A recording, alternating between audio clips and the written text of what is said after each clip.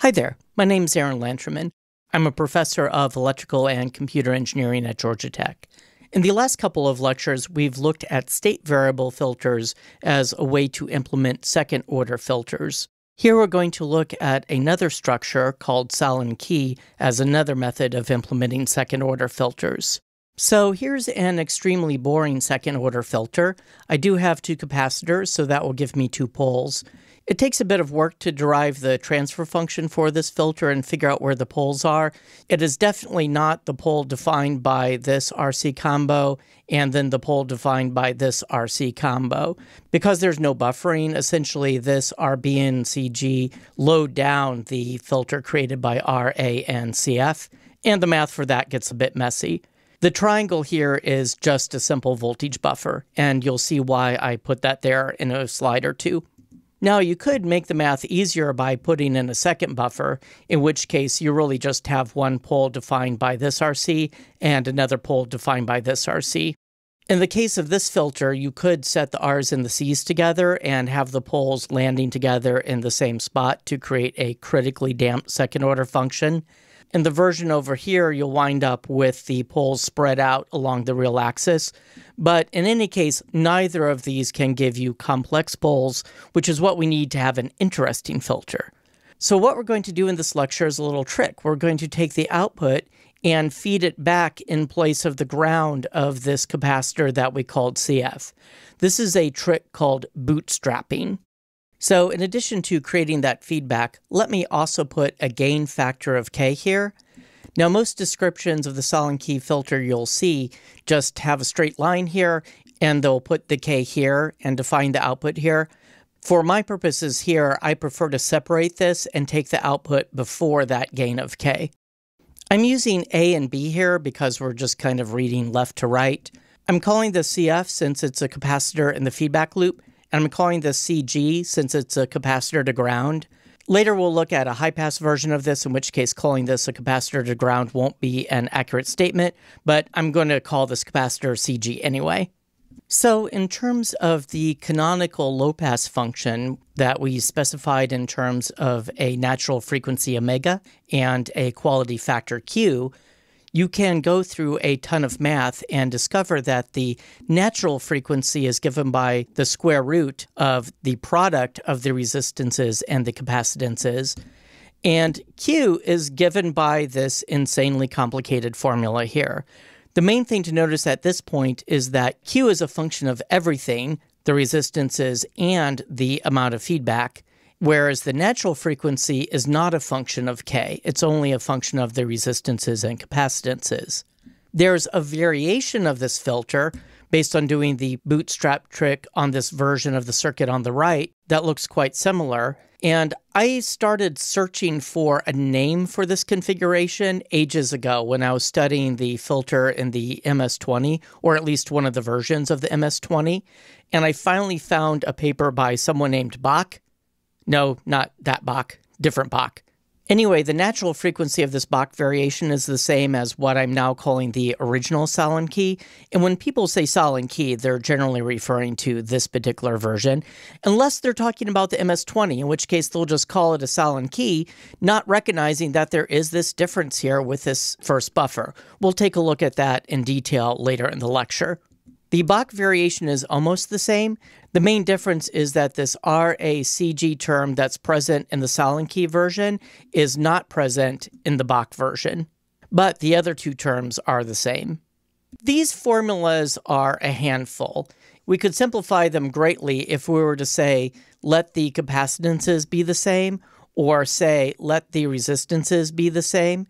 Here I'm going to let the resistances be the same. And the nice thing that happens there is that these resistances combine into an R squared that pull out of the square root as just an R. And then that winds up canceling with all of the various R's down here. So we wind up with an expression where the Q's are only a function of the capacitances and the feedback K. I'm using a capital K here to distinguish it from the lowercase k we used in the lectures on the four pole with feedback structure. The resulting difference between the original Sallen-Key and Bach. No, not you. Go away, JS. Anyway, now the difference between these two versions is that there is a 2 in front of the CG in the original Sallen-Key formula, but there's no 2 in the Bach variation. Now, remember Q needs to be positive in order to have a stable filter. If Q is negative, that means you wind up with a pole to the right of the imaginary axis. Now, the need for this denominator to be bigger than zero in either case places some constraints on K.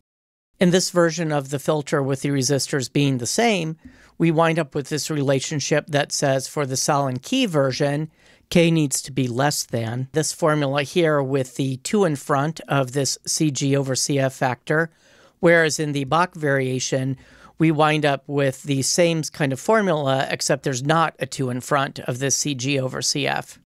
Sallen-Key filters are an extremely common go to design for when somebody needs a low pass or high pass filter with fixed characteristics. There's fairly standard design procedures for choosing the components to get a particular omega n and a particular Q. And if you need a filter that has a fixed Q but a cutoff that you can vary with a pot, it's quite common to use a ganged potentiometer that allows the user to change both these resistances at once.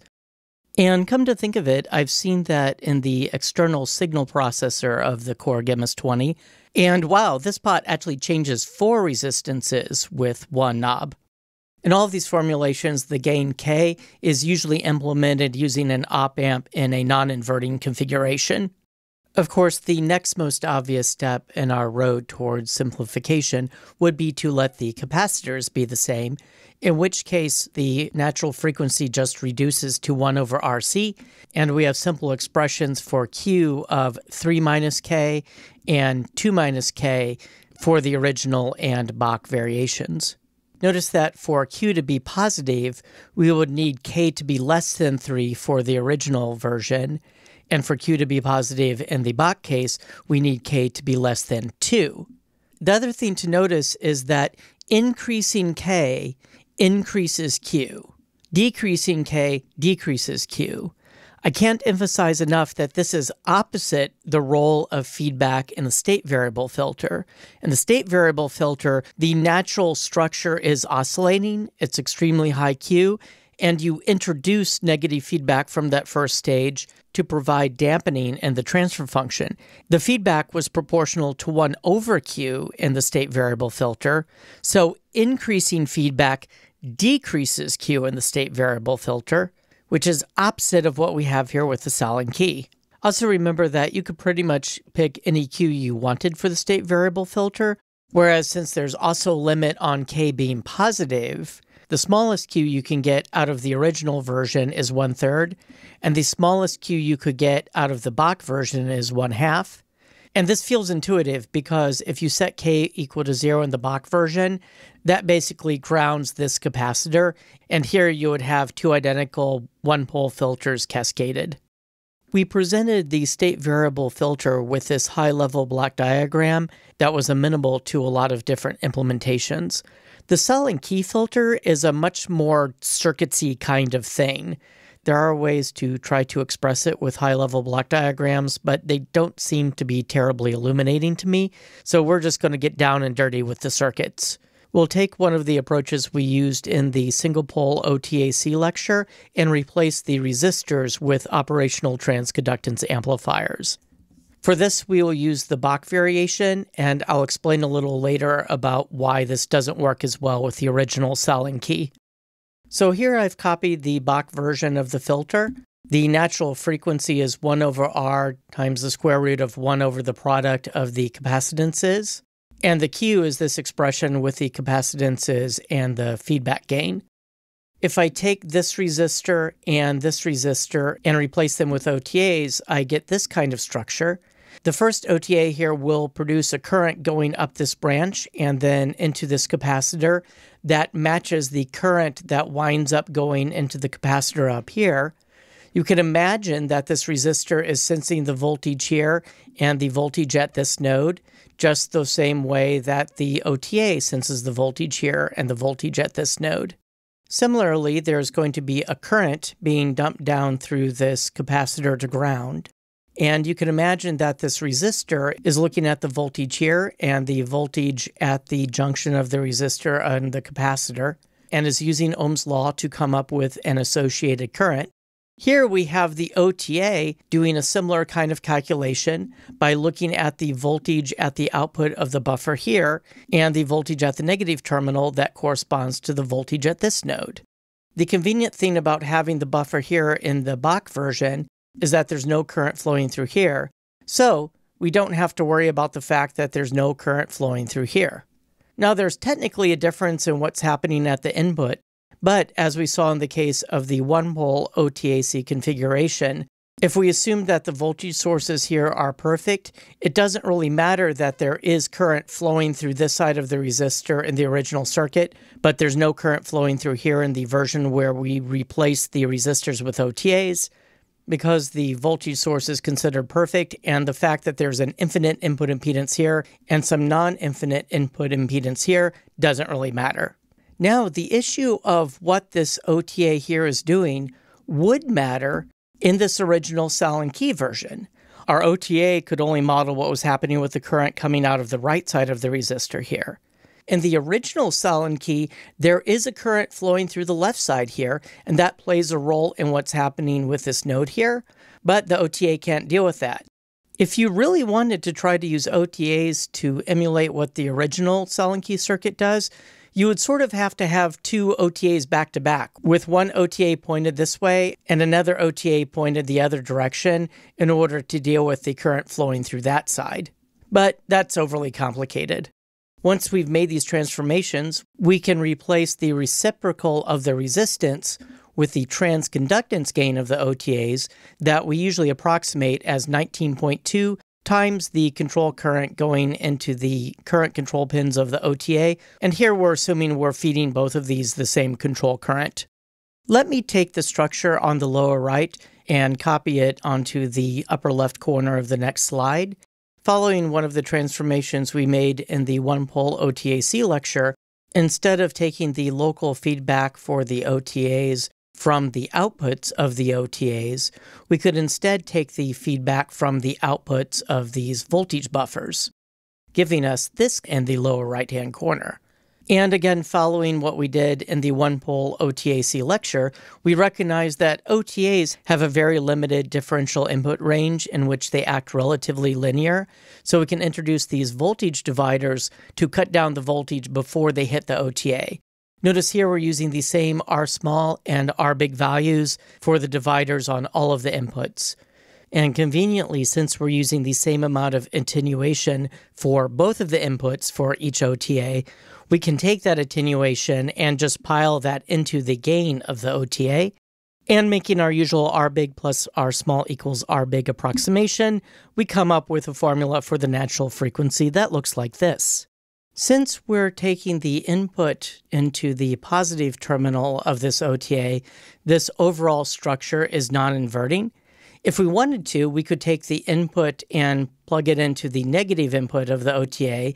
That wouldn't change any of the rest of the behavior of the filter other than sticking a minus sign in front of the transfer function.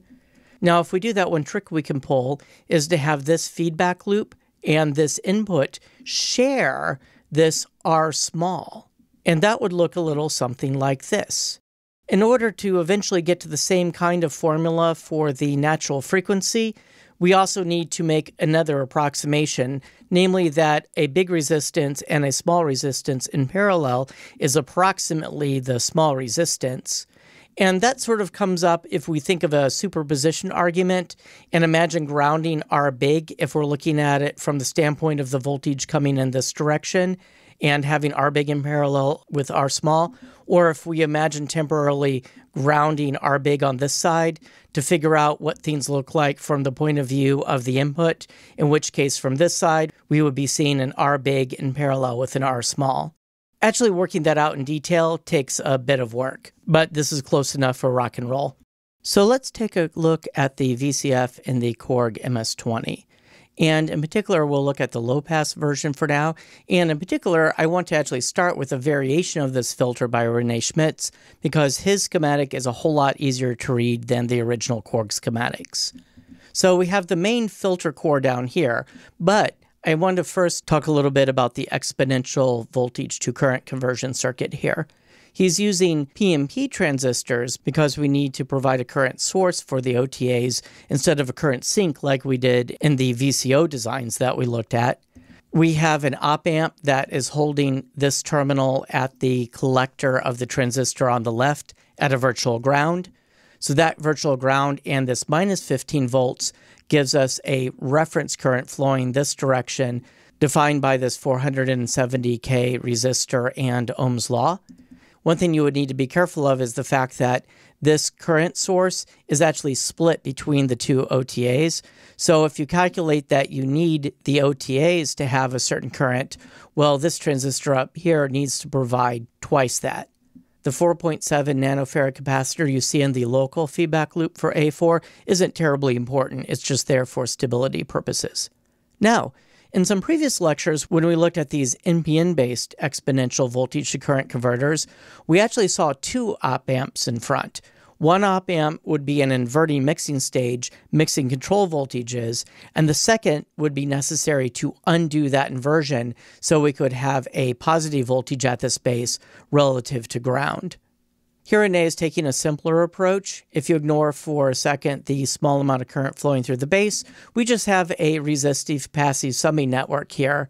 And this is a little weird because, for instance, let's say you leave the pitch input here disconnected. And let's say you now walk up and put a patch cable into it, but don't put any signal into it yet. That essentially grounds the input. Well, those two cases are going to act differently. If this pitch input is grounded, the various other inputs here are going to see this 100K in parallel with this 1.8, which is going to look different than if you just leave this pitch input disconnected altogether. But 100K in parallel with 1.8K is going to be pretty close to 1.8K. So I think by using a relatively small resistor here, you could probably put something into this input or not, and you wouldn't actually change the behavior too much, or at least to a degree that would be noticeable. Down here, he has a pot to set an overall offset. And up here, he has a couple of control voltages that come in. But unlike the pitch input here, these have some potentiometers that control the amount of influence these control voltages have. So the pitch input is probably coming from a keyboard, but these control voltages may be coming from envelopes or low frequency oscillators. So let's dig into the filter core. Rene is using two CA30 OTAs. If you are building this now, I would recommend using the LM13700 because those are easier to find. He's using bog standard op amps as the voltage buffers. He's using 10K for R big and 220 ohm for R small with 1 nanofarad filter capacitors. There's a giant 47 microfarad cap sitting here to get rid of any DC offsets that might have built up. And here we have the resonance pot. If you have this turned all the way down, then there's no feedback, k equals zero, and this corresponds to just two first order filters cascaded. And that's the critically damp case where both of the poles are sitting at the same spot on the real axis. That corresponds to Q equal one half in the Bach version of the filter. Okay, now let's take a look at this op amp in the feedback loop. Let's ignore the diodes for a moment. We'll come back to those. We have a 10K feedback resistance and a 1.K resistance to ground. So let's pull out our calculator. 1 plus 10 divided by 1.8, which is around 6.6. Now, that's a little disturbing because earlier I told you that the Bach version of the Go away, Johann k needed to be less than 2. And here we're saying that if you have that pot turned all the way up, it's around 6.6. So what gives? Well, Rene has put these back-to-back LEDs in the feedback loop of this op amp. And so when the voltage gets to be enough that those LEDs start to turn on, they'll start to conduct, and effectively the feedback resistance is lowered. Using different kinds of LEDs here and different numbers of LEDs will give you different characteristics. This non-inverting op-amp configuration with these diodes in the feedback loop is quite reminiscent of the Ibanez tube screamer. And you need some sort of nonlinearity like this in the feedback loop to be able to achieve sustained self oscillation at high Qs if that's a thing that you want to do. Before we move on, let's pull out our calculator again and compute what the natural frequency of the filter would be. Okay, so let's compute some natural frequencies. Let's see, let's do 1 divided by 2 times pi times the capacitance, which would be 1 nanofarad. And in the numerator, we will have 19.2 times whatever the control current is. And I should emphasize that this is the control current going into one of the OTAs. Since there's two OTAs, the actual current generating circuitry will need to generate twice that. And let's see, we can build our R small over R big, so 220 ohm over 10 kilo ohm. So I put e to the 3 there. And what I want to do is actually take out this IABC, and that will just give us a constant that we multiply the current by to figure out what the natural frequency is. Okay, so we have this number, 6.7227 e to the plus 07 times, let's see, so one milliamp is probably the highest you would want to put into the OTA current control pin, and that would give us Whoop, no. That's one kiloamp. Let's do a milliamp. All right, so 67 kilohertz. That's well above the threshold of human hearing. What if we just put in half of a milliamp? That would be around like 34 kilohertz. All right, what about something like a microamp? If we put in a microamp, that would give us 67 hertz. Okay, so that feels like a nice range of control currents that would map to reasonable frequencies. Oh, also notice that the input is going into the negative terminal here. So the entire structure is inverting, although don't read too much into that. That just puts a minus sign in front of the transfer function. Also, don't be thrown by this 220 ohm resistor. This is just balancing out non-ideal input currents of the OTA. For the purposes of our analysis, we can just imagine this is grounded. Okay, so here's the actual filter in the real Korg MS-20, and it consists of two filters in series. The first one is a high-pass filter, although I'm putting high-pass in quotes here, and I'll explain later why I'm doing that. And the second is a low pass filter, which corresponds to the filter by Rene that I just showed you. So let's see. The original Korg design uses 220 ohms for R small and 10 kilo ohms for R big, and that corresponds to what Rene did. Rene used a different value for the capacitors. He used 1 nanofarad, and here Korg is using 2.2 nanofarad. There's some other differences in terms of the buffers. Rene used op-amp buffers, whereas the actual Korg MS-20 used the Darlington configuration buffers built into the 13600 OTA chip. The 13600 and the 13700 are different, but they're almost identical, and you could build this with a 13700 just fine. The 10K resistors to the negative rail are just there to help the NPN transistors in the Darlington configurations be buffers. Let's see what else. Oh, there's a big difference here. Rene used LEDs in the feedback loop, whereas here Korg is using three diodes in series, two pairs of this in a back to back configuration, which will provide a different flavor of distortion in the feedback loop and hence give the VCF a different characteristic sound. So notice in this low pass filter, the input comes into the negative terminal of the first OTA, and there's a feedback loop that goes into this capacitor. There is a high pass filter in front of this low pass filter, but it's not strictly the canonical high pass function we've always been looking at that had just the S squared in the numerator. To create this quote unquote high pass filter, they take the input and run it into the second capacitor that normally in the original circuit goes to ground. And then the terminal that originally had the input in the low pass version, well, they just take that and ground it. Now, many years ago, I spent a ton of time deriving the transfer function for this, and I found that the resulting transfer function is actually a combination of our canonical high pass and band pass responses.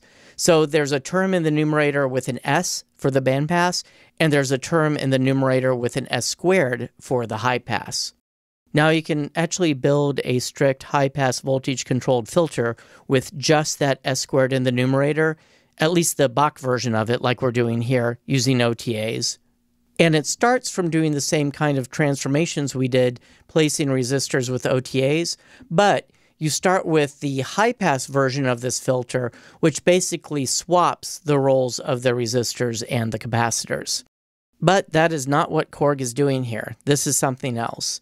Now, the idea of taking a capacitor that was originally grounded and putting the input into it and then taking the terminal that originally took in the input and grounding it, that makes sense as a thing to try. When we looked at one pole voltage controlled filters, we saw that indeed a standard RC filter can be converted from low pass to high pass just by swapping the roles of the input and the ground. And hence, you can get a one pole high pass voltage controlled filter made with an OTA from a low pass voltage controlled filter made with an OTA design, but the Sallen key is a more intricate structure. Oh, now something interesting. Let's redo this calculation we had up here using the 2.2 nanofarad capacitor that the original Korg design uses. So that gives us this kind of factor. So essentially that 2.2 nanofarad is around twice the 1 nanofarad that Rene used. So basically, all of our numbers would be cut by around half. So if I put one microamp in, that would give us a 30 hertz cutoff. If you would like to dig into this more, I highly recommend you go to Tim Stinchcombe's website and get a hold of the paper he wrote called A Study of the Korg MS10 and MS20 Filters. It is really amazing in terms of how thorough this analysis is. Now, in addition to analyzing the OTA based circuit we just looked at, there are earlier versions of the MS 20 that use this weird thing called the Korg 35 chip. And this version essentially uses BJTs as variable resistors in the Sallen key formulation. It's a deeply weird design that I haven't looked at in detail myself. But Tim has, so you should definitely go check out his analysis. I think one fundamental difference is there isn't really a buffer sitting here. So this is not the Bach version of the filter. I think this is closer to the original Sallen key. But I mean, using BJTs as variable resistors, that's just going to have all kinds of weirdness on its own. So here's an example of a low-pass Sallen key filter design from the SSM 2040 datasheet. We'll also look at a high-pass and band-pass design from the same datasheet. To my knowledge, these didn't appear in any commercial products. And for that matter, I would be surprised if anyone ever built this, including the people including the people who designed the SSM 2040 because remember the 2040 has all four of its OTAs being driven by the exact same current. So this would only really be useful if you really wanted another low pass Sallen key filter that was set to the exact same natural frequency. Now we're going into the negative pin of this first OTA. So that suggests that this is going to be an overall inverting configuration. But a bit of a spoiler alert, there's going to be a plot twist there. And there's a challenge in implementing the Sallen key filter with the 2040. We need both the negative and the positive input of this OTA, but the SSM 2040 has all of its positive OTA inputs wired internally to ground. So, what they wind up doing in the 2040 datasheet is they actually take what's going to the positive input here and they shove it into the negative input instead. So, the design on the second OTA winds up sharing R small between the two inputs, the same way we wound up sharing these R smalls when we went to the inverting configuration. But because this is now going into the negative terminal instead of a positive terminal, they wind up having to use an op amp in an inverting configuration over here in order to get the correct sign in the feedback loop back to this CF as we called it. And it turns out then that the transfer function for the low pass filter output doesn't have that minus sign. Since although we're going into the inverting input here, we're hitting the inverting input here as well. So unlike in all the other Sallen-Key designs we've looked at so far, these wind up canceling, which is why there's not a negative sign in front of the transfer function of this Sallen-Key low pass in this table from the datasheet. The high pass filter from the datasheet needs to use this inverting configuration as well to deal with the fact that we don't have access to this positive terminal in here. And this is a real canonical high pass function with an S squared in the numerator. So this is not like that combination band pass high pass response we got from the MS-20 interpretation of high pass. I'm not actually aware of any commercial synthesizer that uses a true Sallen-Key high pass filter, but there are state variable high pass filters in things like the Yamaha CS80. The datasheet also has a Sallen-Key bandpass filter. You can look up the original Sallen-Key bandpass filter designs in various books and app notes and such. I won't get into it here, and do the kind of substitutions of resistors by OTAs that we've been doing and get something like this. The only bandpass filter I'm aware of with a Sallen-Key structure is in the Yamaha GX1. There's a bandpass filter with a fixed Q that's basically used to pull out various harmonics in a waveform. Although the voltage controlled aspect is implemented very differently in that filter, the GX1 filters use these weird diode bridge configurations.